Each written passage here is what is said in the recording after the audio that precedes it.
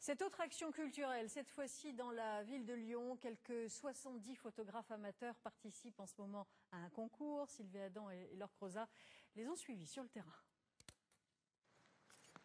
Objectif, réaliser la meilleure image possible sur un thème imposé, le cinéma. 12 clichés, 12 titres de films, comme Fenêtre sur cour, autant en emporte le vent les visiteurs. En quête d'inspiration, Anthony cherche à tirer parti de la pluie. Par exemple, je pense pour le, cinquième élément, ça peut être sympa de, faire un reflet justement dans la bulle d'eau. Pour donner une espèce d'effet futuriste un petit peu, un petit peu flouté. Trois rendez-vous mystères dans la journée et près de 70 amateurs inscrits à ce créathlon.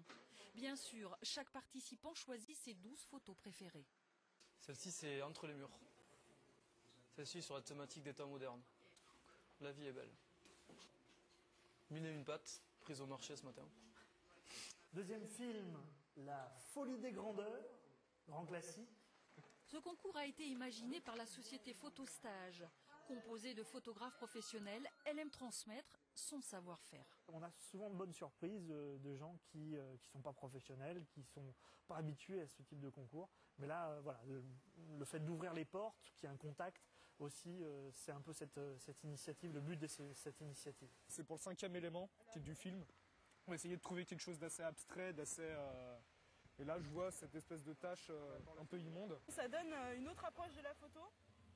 Et ça fait un remue-ménage qu'on ne fait pas souvent. Et c'est ça qui est super intéressant en fait dans, dans, cette, dans cet exercice en fait, justement. Les images seront étudiées par des professionnels. Le jury se réunit mercredi. Premier prix, un appareil photo.